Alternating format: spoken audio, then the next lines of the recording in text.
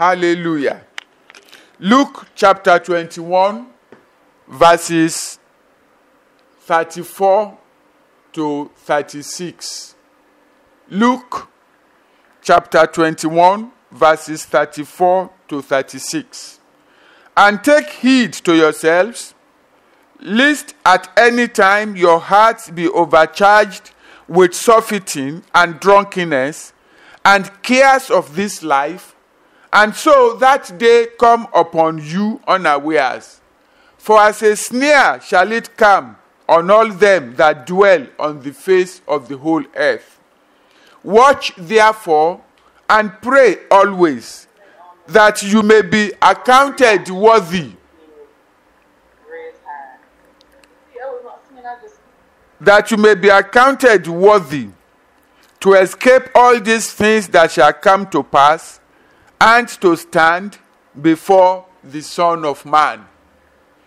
We took part one of this message last week, Sunday. We could not finish the message, and uh, we are going to have part two of it today. And we are believing God that we shall complete this particular episode in the series Watch and Pray. Last Sunday, we mentioned that the series of teachings we are doing can only make sense to anyone whose goal in life is eternal life. The series Watch and Pray, which we started a few weeks ago with Watch and Pray unto Perseverance, that was part two. Watch and pray so that you do not fall into temptation. And then we did watch and pray, you do not know the time. And part four of it, watch and pray so that you may be counted worthy to escape. All these series can only make sense to an individual whose goal in life is eternal life. Anyone whose goal in life is to make money or to have a good time or to be a celebrity and then hoping that somehow he will arrive in heaven. This series will not make sense to you because it is directly opposite everything that you desire. The Lord makes it clear some things are going to happen on the face of the earth, and they are already happening. And He's calling His people watch, be alert, be awake. Do not be spiritually, do not spiritually slumber so that you can escape. We mentioned last Sunday that the escape that the Lord is talking about is not just to escape being killed. Do not restrict this to, oh, I have escaped danger. Boko Haram did not kill me. Kidnapper did not capture me. Uh, Fulani headsmen did not kill me. Arm robber did not kill me. I have escaped. No, it is more than that. You can escape being killed, but you can be caught in perversion of this age. You can be caught in covetousness of this age. You can be captured by the immorality of this age. All those things disqualify from eternal life. So when you watch and pray, you watch for physical danger, you watch out for spiritual danger, you watch out for immorality. The Bible points out that there are three enemies of spiritual alertness, and the three are mentioned in verse 34 surfeiting, drunkenness, and cares of this life. Those three will make you lose spiritual alertness. We shall continue this morning and remind us that the end times have two aspects to it. When the Bible is talking about the end, when God talks about the end of the age, there are two aspects to it. The first one is the day of the rapture. And the rapture that leads to Armageddon, seven years after. Maybe one day we should revisit the, vis- uh, the message on end times. If the rapture takes place today, then Armageddon unfailingly is taking place seven years from now. Unfailingly. So the rapture signals the end of the age. And then Armageddon follows. And 1,000 years after Armageddon, the white throne judgment follows. From that time, from the date of the rapture, you can now begin to know exactly when what is going to happen next in the end time. What we don't know is the day of the rapture. So that is one aspect of the end.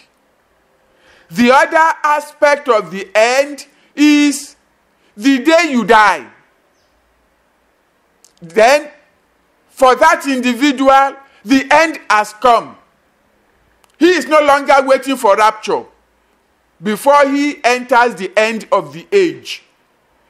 Anybody who dies today, he, his end has come. He has entered the end of the age. For him, it is over. So you don't know the day of the rapture. None of us knows.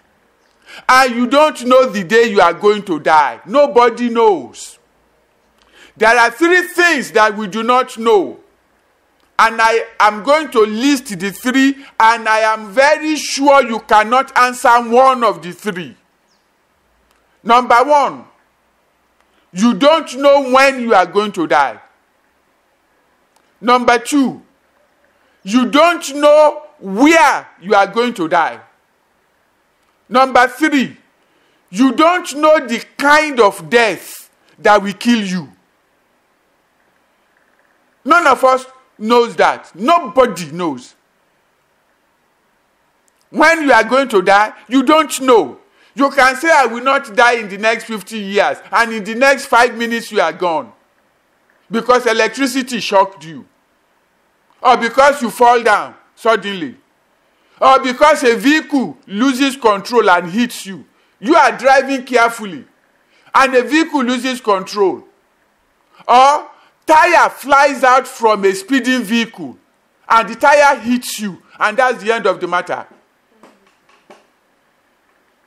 I pray none of this will happen to you.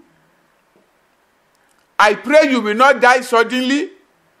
But there are people who have died like this. And they are not worse sinners than any of us. So no one knows when he's going to die. Nobody knows where he's going to die. Somebody may say, I am planning my life so that I will die peacefully in my home. And he dies in a near crash. And he dies falling down from motorcycle. Or he eats something, he dies. Or he falls ill suddenly, he dies. Nobody knows when, and nobody knows the kind of death. Therefore, you must always be alert. You must always be watchful. You must always be on guard. You cannot afford to be slack. To watch and to pray therefore becomes crucial. You observe what is going on in your environment. Don't be narrow minded such that all that you see is money. Money. There are Christians who, right now, all they see is money. When you tell them Boko Haram is killing people, they say, I beg, leave me alone. Have I solved all my own problem? There are Christians that you tell, oh, there are persecuted Christians in the north. Let's pray for them. I say, I beg, have I finished praying for myself? He is not watching. As far as he's concerned, his own problem is everything. And what is his problem? His needs must be met. He's not watching.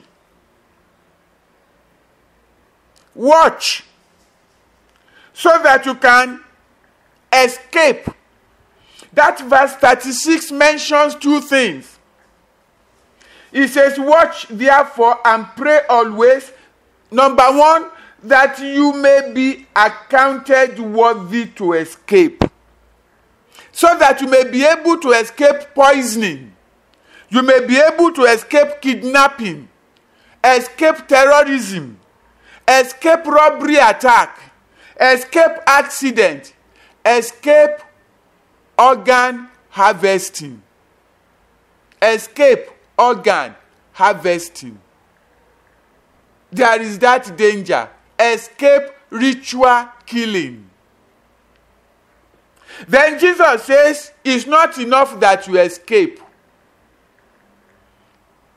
and that you may stand before the Son of Man. Some people will escape, but they will not be able to stand before Jesus. And remember, we're talking about eternal life. That there is life waiting after this one you are living. You see, this our sojourn on planet Earth that some people have taken as if their whole existence is bound up in planet Earth. Our sojourn here is a probation. It is as if you employ somebody in an office and you say, We are placing you on probation for six months. That six months, you are not a full staff. But we have given you an offer, an opportunity to report in this place of work every month, and we will pay your salary, but we are watching you. We are watching you. We are observing your conduct. We are observing, assessing your performance. After six months, if we are not satisfied, we tell you to go. That you cannot be a staff. After six months, if we are satisfied, then we give you a letter of confirmation of appointment. That is probation. That is what you and I are doing on planet Earth. We have not arrived. We are not home yet. God has not accepted us yet. Whether you spend 80 years, whether you spend 100 years, you are on probation. What is 80 years compared with eternity? Let us assume that eternity is 10 billion years. And then you are given 100 years. What is 100 years compared with 10 billion? It's like somebody having 100 naira and somebody having 10 billion naira. And the person who has 100 naira says, Ah, I am rich, oh, I have 100 naira. And he's standing beside somebody with 10 billion naira. You know the way the billionaire will look at him? And eternity is more than 10 billion years. And many people are wasting their time of probation, running after what is not important. And yet, the employer is looking at you. It's like you place, you employ somebody on probation, and he arrives at work 9 a.m. when work resumes at 8, and he closes at 2 when office closes at 4 p.m. And during work hours, he will sleep. And instead of working, he will invite his friends to the office. And he's behaving anyhow. And the employer is looking at him. I said, You have six months to prove yourself. And the employer refused to sack him. The employer refused to give him query. He's just watching him. Then after six months, they say, Your service is not required. And he said, Why? Why? I was here for six months. They said, You were here for six months. What were you doing here for six months? That is the way some people are living their lives. And unfortunately, that is the way some Christians are living their lives. You forget you are on probation. You have not arrived. Any Christian who is living carelessly, there is no difference between you and the unbeliever who is not a Christian. You are all the same. You are all going back to the same place. Because when God will pick the people who measure up to his standard, he will throw the rest away as refuse. All that God is interested in right now is checking you to find out are you qualified to live in my house? Are you qualified to be a member of my household, of my family? And there are so many Christians who are telling God, we are not qualified. We don't care about your house. We don't care about you. Leave us to enjoy our lives. One day your probation will end, though. Just know that your probation on earth will end. And that probation ends the day that you die. That is the day your soul and your spirit will leave your body. And your body, the body will return to the dust, and the soul and body and spirit will enter eternity. Then, I pray that you will be ready. Some people will escape, but they will not stand before Jesus Christ. My prayer for you this morning is that you will escape all the evils and perversions on planet Earth and you will stand before Jesus Christ. You will not be disqualified in the name of Jesus. You will not die suddenly in the name of Jesus Christ. That is why watching and praying is crucial. That is why watching is crucial. And what do you watch first? And whom do you watch first? Yourself. Watch yourself. Many of us are experts in watching other people. Leave other people, oh. First, watch yourself. If you want to criticize, first criticize yourself. If you want to assess, first assess yourself. How are you living? Are you living carelessly? How do you talk? Do you talk recklessly? How do you behave? Do you behave wickedly and unrighteously? Watch yourself. Is your heart tilting towards immorality? Watch yourself. Then watch the company around you. Who are the people who are around you? Because those who are around you have the capacity to influence you. That's why the Bible says that don't make friends with a wrathful person, with an angry person, or else you will learn his way. If you make friends with an immoral person, you will become immoral. If you make friends with a drug addict, you are going to be, start using drug very soon. If you make drugs with a uh, make friends with a prostitute, you will soon be a prostitute. If you are friends with a liar, you will soon start telling lies. Watch the people around you and then watch your environment. Watch. And whatever you see, use it to pray. Even for yourself, use it to pray. Therefore, brethren, be sober. Be sober. Like we mentioned last Sunday, some pastors treat the church as entertainment platform. They try to get people excited, thinking that when people are excited, they are happy, they will start, they will keep coming to church. Look, oh, be sober. What is at stake? If you truly understand what is at stake, you will not be excited. You will be sober. And that's what Jesus Christ says. The Bible says, be sober.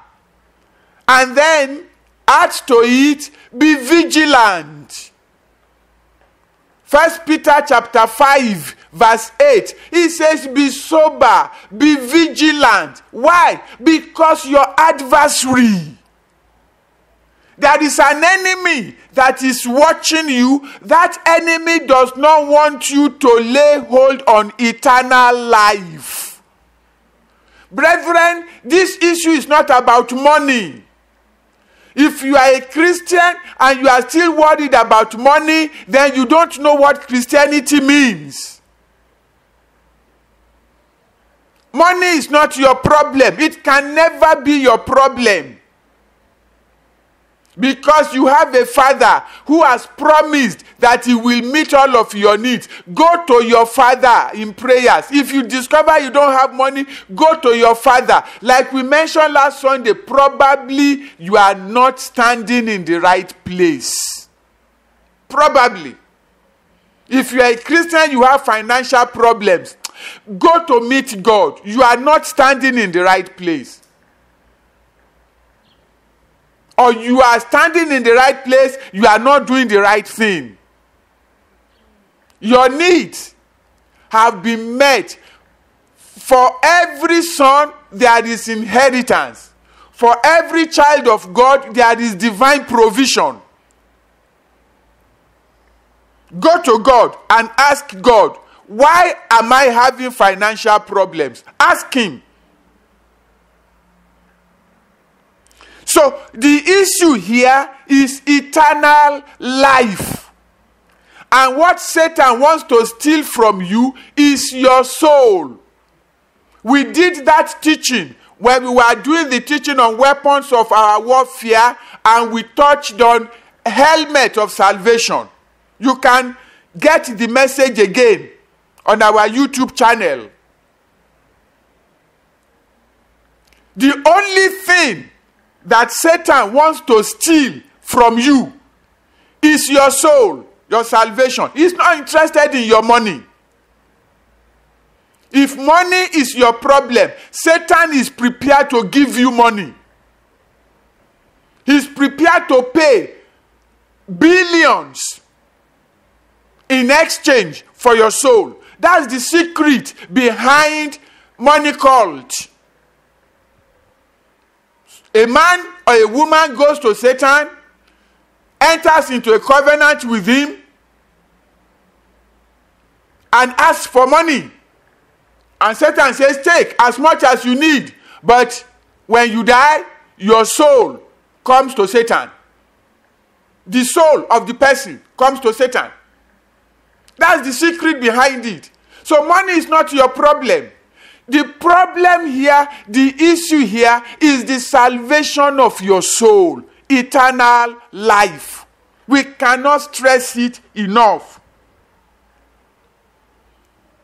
Many Christians have lost soberness because they are trying to catch up with the lifestyle of the world.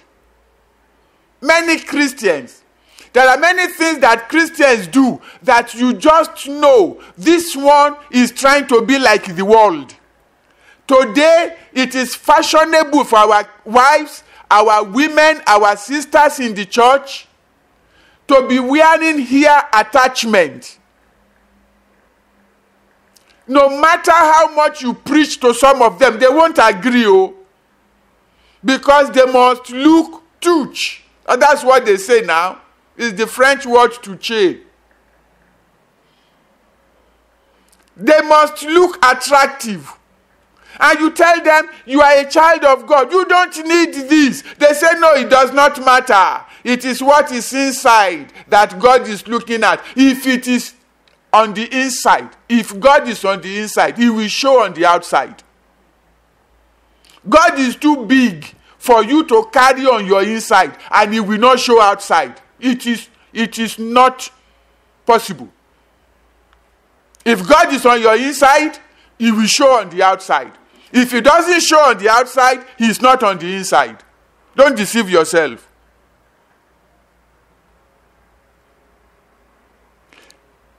The race, the hunger to be accepted by the world, to measure up with the fashion of the world, to comply with the lifestyle, to keep up with fashion, that race has made a lot of Christians lose soberness. A lot of Christians have lost carefulness. A lot of believers in Christ Jesus, they have become reckless.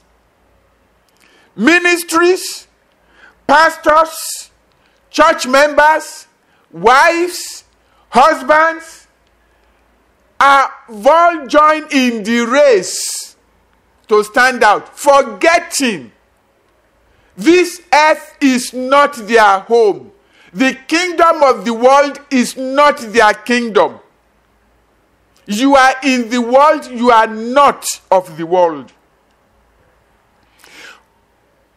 What adds to this problem is the pressure to show results. Brethren, let me tell you this in case you are not aware. You are under pressure. Christian brother, Christian sister, please be aware you are under pressure. And what is that pressure? You are under pressure to show result.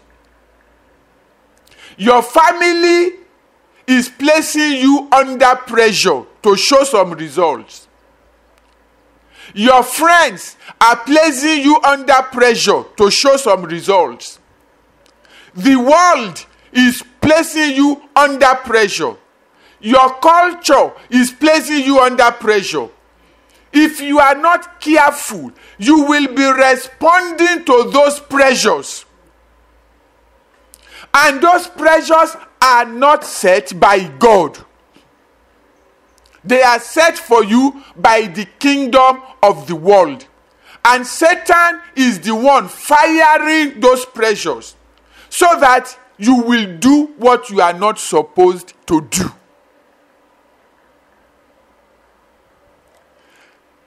The goals that you are being pressured to meet, those goals were not set for you by God, they were set by the world.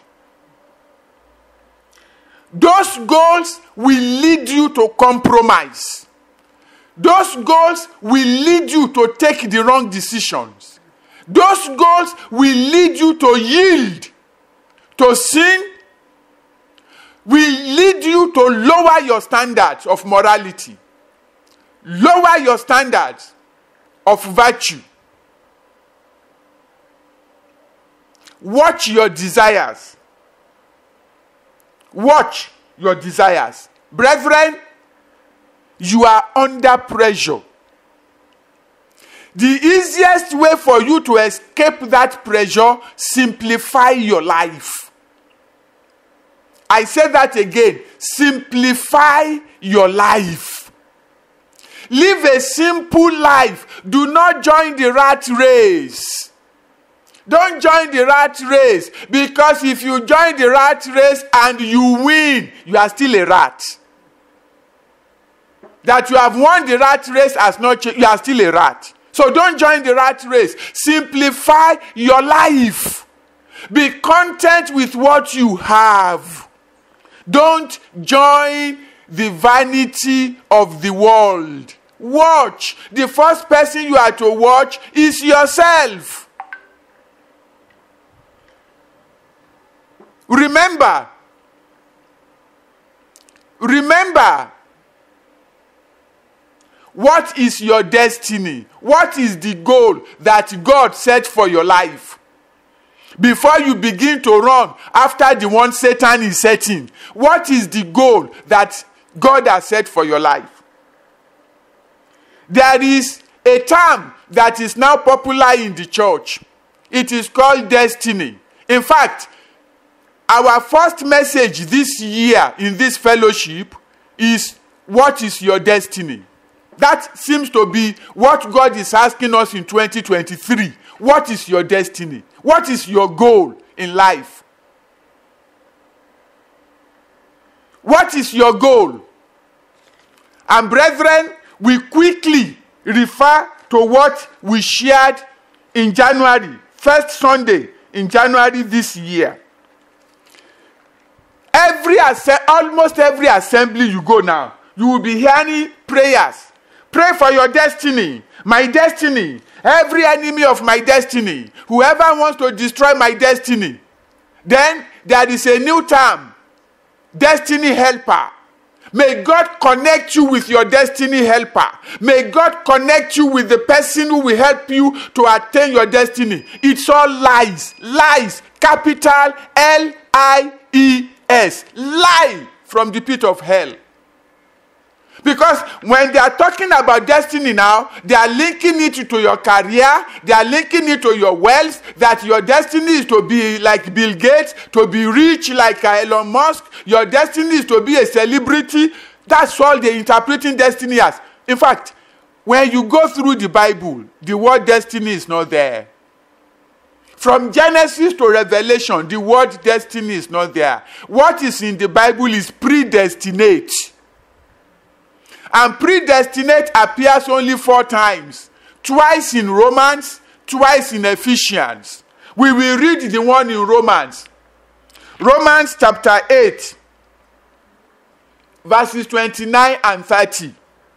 Romans 8, 29 and 30. Verse 29. Romans chapter 8. For whom he did foreknow, he also did predestinate to be conformed to the image of his son. He predestinated you to be conformed to the image of his son. Not the image of Bill Gates, not the image of Elon Musk, not the image of uh, Dangote that he might be the firstborn among many brethren. Verse 30. Moreover, whom he did predestinate, them he also called, and whom he called, them he also justified, and whom he justified, them he also glorified. You will find predestinate also in Ephesians chapter 1, verse 5 and verse 11. Ephesians chapter 1, verse 5 and verse 11. Those are the four places in which predestinate comes up. And what are you predestinated to be? To be conformed to the image of Christ. Which means, what is your destiny? Christ likeness. That is your destiny. Your destiny is to be like Jesus not to be a rich man, not to be a celebrity, not to be a business magnate, not all those things that all these fake pastors are now misleading Christians to pursue. If your goal is to be like Jesus, money will not be your goal, oh, because money was not the goal of Jesus. If your goal is to be like Jesus, popularity will not be your goal because popularity was not the goal of Jesus. If your goal is to be like Jesus, doing the will of God will be your goal because that was the will of Jesus. Christ likeness is your destiny. Don't allow anybody to deceive you. Christ likeness is your destiny. If you have any destiny helper, then it means that destiny helper is helping you to be like Jesus, not connecting you to get a contract. Don't allow these fake pastors to deceive you. Go to the Bible and study it there. There is no enemy trying to destroy your destiny. Your destiny is Christ likeness. You and I, we have the same destiny. Everybody that comes to Jesus has only one destiny Christ likeness. Be sober. Simplify your life. Jesus simplified his life. He lived simply. Because on planet Earth, there is nothing for us here. We are not home yet. Our home is the kingdom of God. Please let your goal be eternal life. When your goal is eternal life, nobody needs to preach morality to you. Nobody needs to preach holiness to you. Nobody needs to preach sanctification to you. Nobody needs to tell you to give. Nobody needs to tell you to love. You know what you must do. It is when eternal life is not the goal of Christians that you have to be telling them you must be holy, you must be pure, you must be good, you must be kind. Once you make eternal life your goal, you know what you must do to gain it now.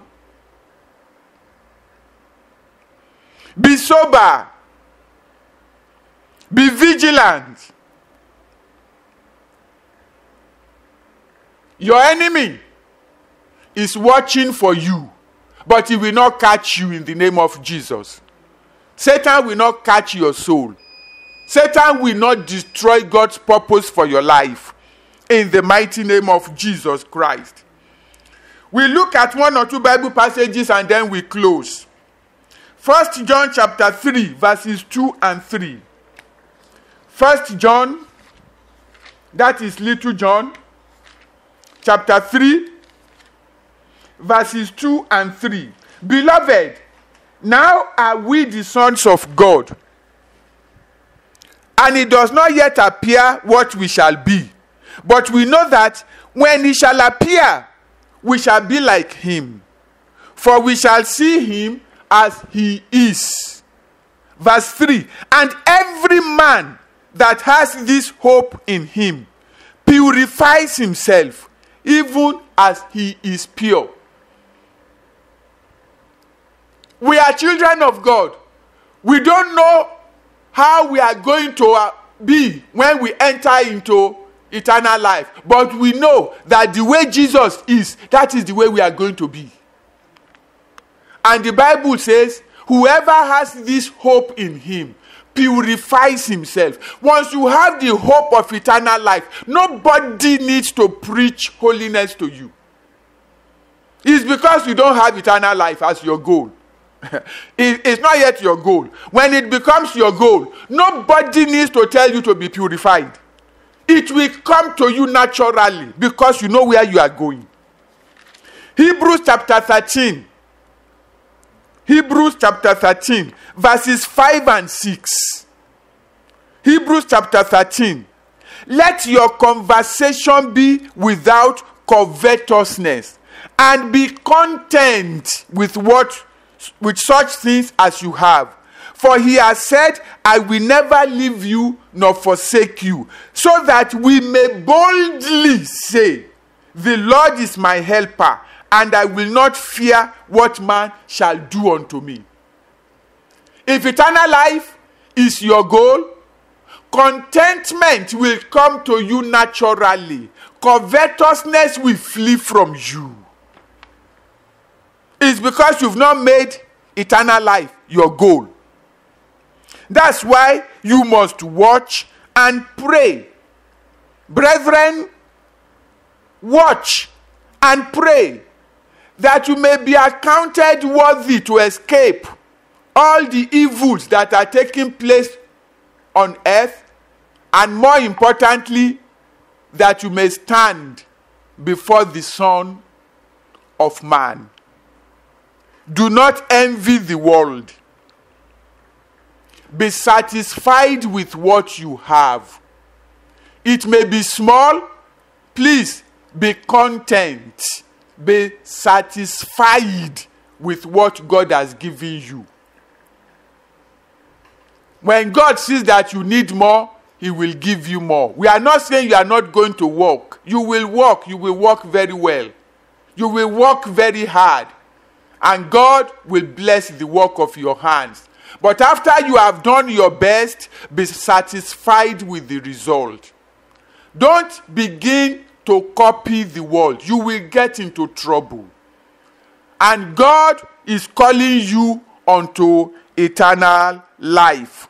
Cultivate the spirit of Christ. That is your destiny.